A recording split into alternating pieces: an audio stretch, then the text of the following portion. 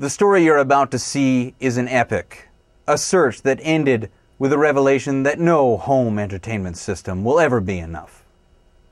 Because after you've heard the ultimate home theater, a room custom built, acoustically tuned to feel harmonic perfection with a price tag pushing a million bucks, there is no going back. I've seen my own shadow on the Best Buy walls. I've tasted the forbidden fruit. And I'm hooked.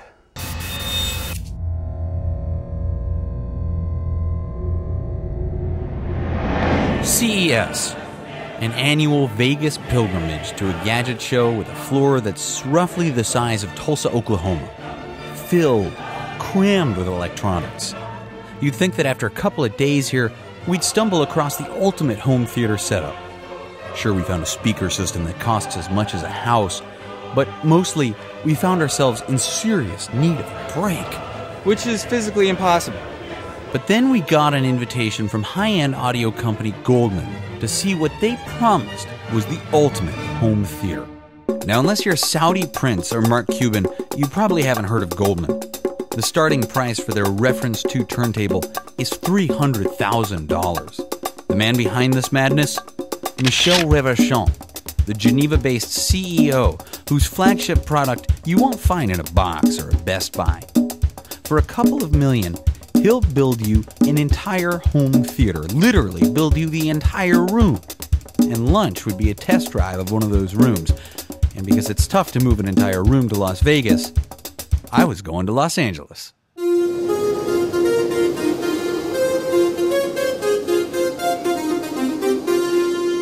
I don't care if Goldmund was unveiling a goldfish bowl. When someone offers you a ride on a Gulfstream G3, you say yes.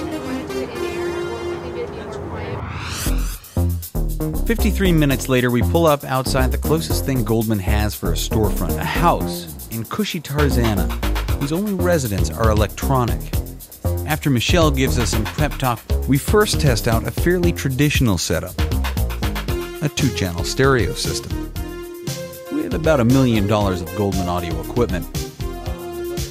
Frequency ranges are independently amplified and the speakers are grounded to the earth, you know, to prevent any unwanted vibration from that Michael Bublé album. And this was lunch, also in high fidelity. But it was the media room we were all waiting for, thanks in part to Michel's enthusiastic teasing on the plane ride over. We have developed a model, software model, which runs in a secret room in a computer in Geneva, and that calculates each room. It takes more than a day in calculation. It's a simulation with taking speakers, putting speakers, giving them different frequency response, different phase response, different time response, different directivity, etc. And simulate the room each time and select the best solution. When a door slams on your back, in a film, it slams at 100 dB peak. In my room, it slams at 130 dB peak. And I can tell you, people jump. Okay? So as I walked into the media room, I was ready to be wowed by the room's 13,000 watts of power spread across a frequency range that spans from an earth moving 5 Hz all the way up to 50 kilohertz, just in case the neighborhood dogs are watching.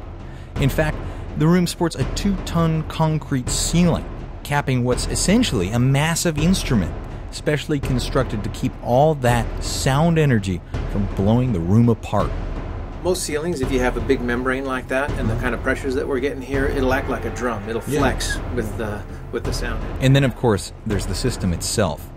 52 drivers, discreetly hidden, playing movies in a 32-channel remix of the traditional 5.1 surround sound. Goldmund's processors do all this remixing on the fly. But none of that really matters. What counts is what it actually looks and sounds like and there's no way to explain it or to capture it here and to show it to you over the internet. But I'll say this. The moment the movie started playing, all the tech, the numbers, the power figures, I forgot them all. The five minutes of movie we watched, I can honestly say it was the most thrilling theater experience I've ever had, anywhere, IMAX included. And this was watching Pearl Harbor. Pearl Harbor! What I thought was a shockingly bad movie suddenly seemed really good.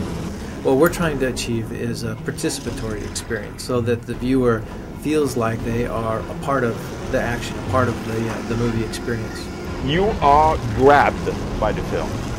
You are not watching it, criticizing it, loving it, enjoying it anymore. You are in it. That's the difference. That's what makes the difference. Well, it's not the only difference. There's also the ticket price. For a mere mortal such as myself, this might be one addiction I just can't afford. For Switched, I'm Ben.